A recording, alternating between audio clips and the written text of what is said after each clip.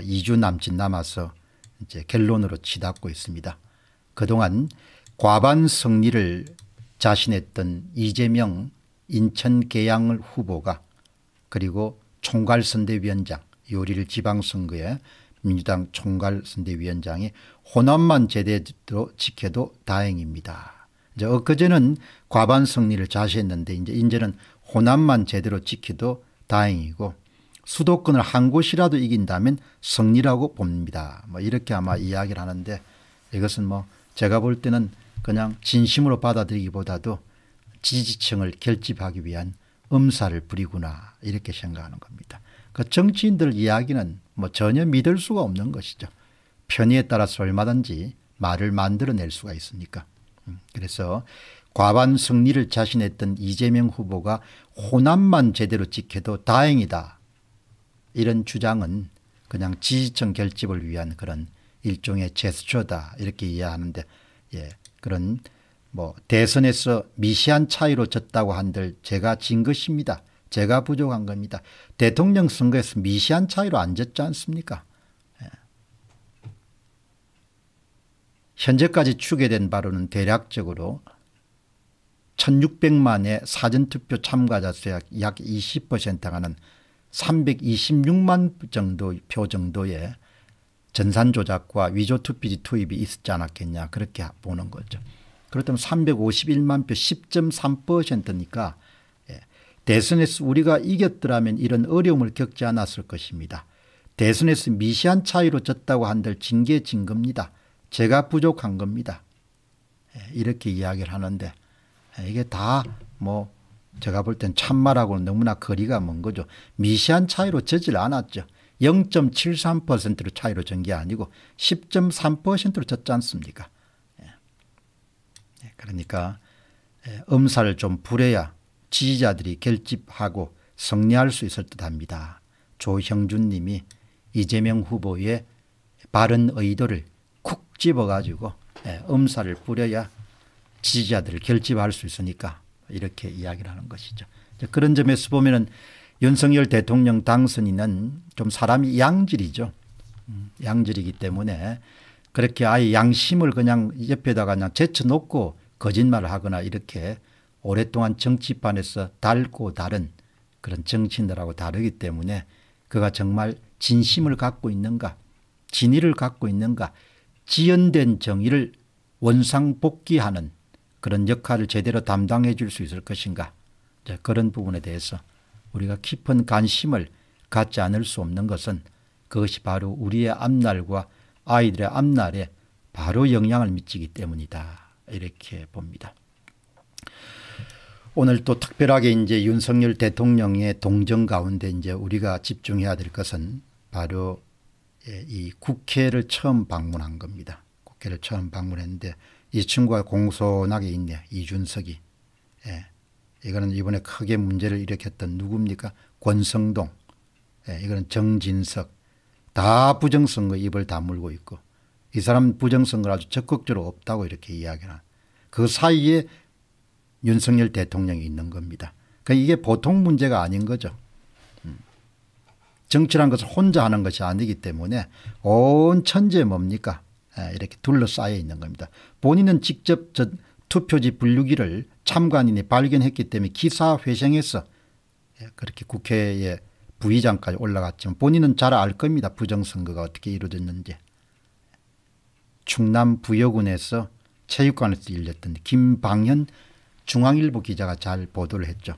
이 친구는 뭐 아주 결사적으로 부정선거가 없다고 주장해온 그런 친구죠. 이 사람 무소속으로 출마해 가지고 부정선거가 본인 선거 데이터를 보면 강릉시에서도 있었습니다. 그러나 당일 투표에서 많은 표를 얻었기 때문에 이길 수가 있었던 것이죠. 음.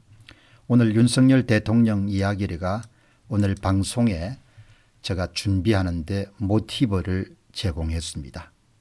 윤석열 대통령은 5월 16일 국회 시정연설에서 의회주의라는 표현을 네 차례 사용했습니다.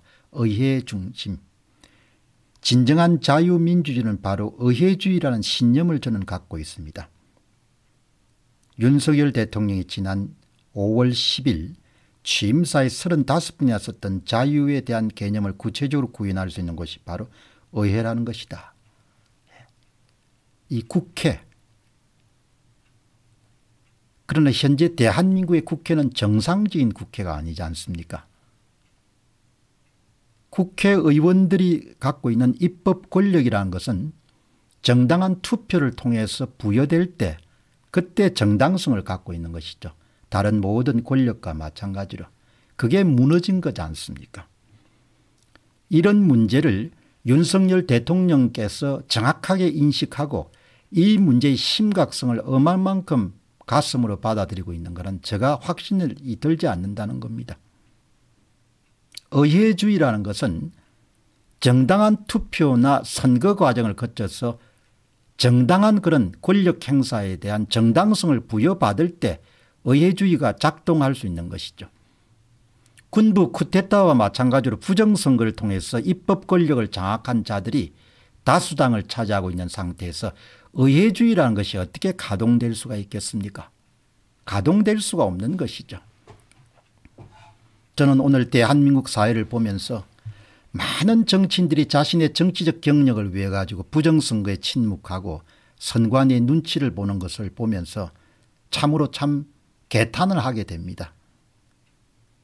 꼭 같은 석상에서 윤석열 대통령과 함께 정치를 하는 사람들의 그런 소위 밥그릇을 지키기 위해서 의회주의 현재의 체제를 그대로 인정하는 부정선거를 통해서 권력을 장악하는 데 성공한 그런 국회의원들을 있는 그대로 기존 질서를 인정하고 의회주의를 운영하겠다 이런 것을 이야기한다면 그런 의도를 윤석열 대통령이 갖고 있다면 그가 말하는 공정과 상식과 자유라는 것은 다 헛소리에 지나지 않는다는 겁니다. 그의 말이 그야말로 진짜 말 참말이 되기 위해서는 이 의회주의라는 그런 기준에는 반드시 그 대들보에 해당하는 공정한 선거를 통해서 입법 권력이 부여된 자로 구성된 그런 단체가 바로 의회주의의 굉장히 중요한 구성 요소인 거죠.